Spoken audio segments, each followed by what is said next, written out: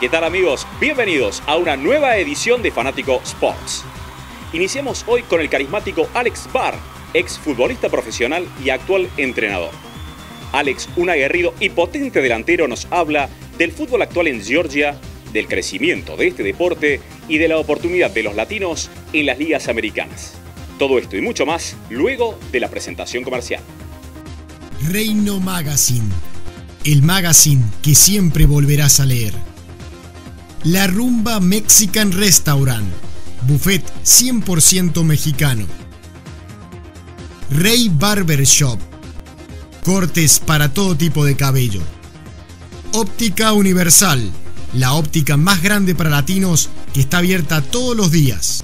El fútbol en Georgia está creciendo muy, muy, muy por todos lados, muy bien. Eh, a nivel juvenil, recreacional, eh, selecto, que es eh, ya una liga más competitiva. Eh, después, si se gana el local, a Triple y hay el nuevo nueva liga que ya lleva, que es ya es élite, que es ECNL. está creciendo bastante. En el club que trabajo tenemos buenos, buenos entrenadores ahora de, de, alto nivel, como Raúl Díaz Arce, está Abundis, ahora tenemos a Carlos Parra, yo estoy entrenando ahí, pero ellos tienen ya un mejor recorrido que, mi persona. Está creciendo bien y estamos aportando nosotros los hispanos al fútbol local. Una parte muy fundamental para, nosotros los latinos, desde, hace tiempo lo estamos viendo, eh, que Estados Unidos ha ayudado a la comunidad eh, hispana, pero ahora se está viendo mejor. Eh, hay más, más ¿cómo se puede decir?, ventana al mundo Em, los latinos estamos saliendo. Em, es algo, es una puerta grande para, que, nosotros como latinos, eh, eh, los jóvenes especialmente, que, vean que todo se puede, ¿no? Solo hay que prepararse y, y estar trabajando fuerte. Alex comparte con nosotros su punto de vista acerca del cuidado que debe tener un futbolista si piensa jugar en la alta competencia. Yo lo veo en dos formas. Eh, nosotros venimos de una cultura diferente. Aquí en ese país hay más libertad. Eh, estamos más eh, consentidos aquí, tenemos más cosas.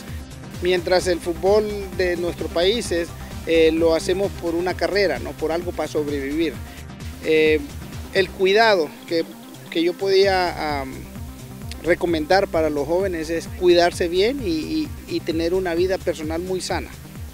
Muy sana para, poder llegar a, ser alguien. Eh, más en este país, que hay de todo, se ve de todo em, y es muy peligroso, ¿no? Hay que estar sano, tener buenas amistades, comer bien, eh, prepararse físicamente bien, eh, estar mentalmente bien.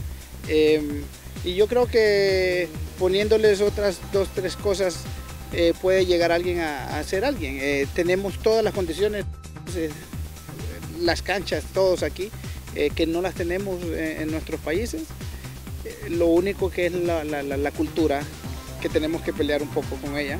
Y, y para sobresalir hay que, obviamente, hay que cuidarse bien la salud, estar sano. Finalmente, le pedimos al entrenador que nos hable de dos grandes momentos de su vida como futbolista. Lo vemos.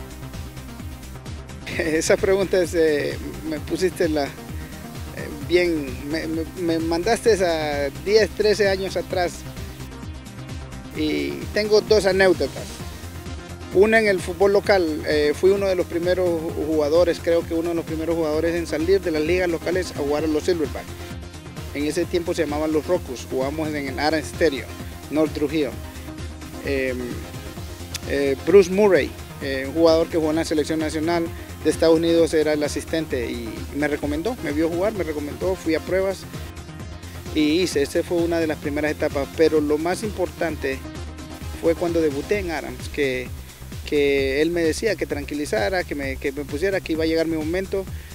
Eh, un balón cruzado, eh, de una la agarré, rebotó y le pegué de una con la izquierda, primer balón, golazo. Eh, tengo fotos de Will Ramírez eh, que me tomó, me la regaló. Esa es una de las emociones más inmensas que uno puede tener, ¿no? representar a, los hispanos y, en casa. La otra anécdota fue cuando jugué en, en, Honduras con, el Petrotela. Fue mi primer gol profesional en la Liga Nacional de Honduras, fue contra Cartaginés. Eh, hace años, como unos 10, 15 años jugamos la Copa Oro. Y fue mi primer gol, un, partido internacional contra el equipo de Cartaginés de Costa Rica. Fue emocionante, un golazo de cabeza, un centro de Tomás Roches, me acuerdo, y eh, no hallaba, no hallaba dónde meterme en la cancha. Son cosas muy bonitas que le deja el fútbol que, que yo creo que no se borran de la mente. Hacemos una breve pausa comercial y regresamos con mucho más de Fanático Sports aquí en Azteca Atlanta. Fanático Sports.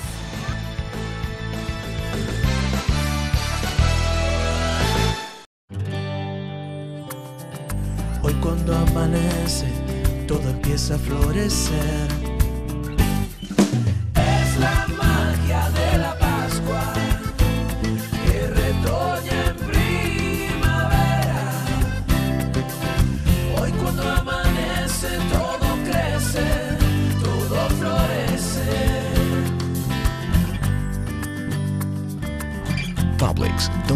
es un placer.